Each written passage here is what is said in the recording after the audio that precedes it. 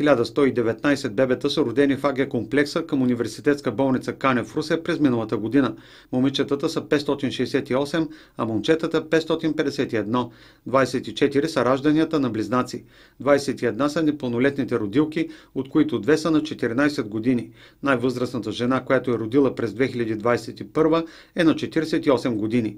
11 от родилките пък са били с COVID-инфекция.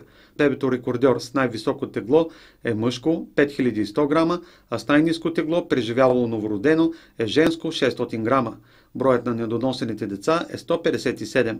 През 2021 в университетска болница Медика са проплакали 324 бебета, от които 6 двойки близнаци. Най-едрото бебенце е родено с тегло 4730 грама, а най-малкото е тежало 1750 грама.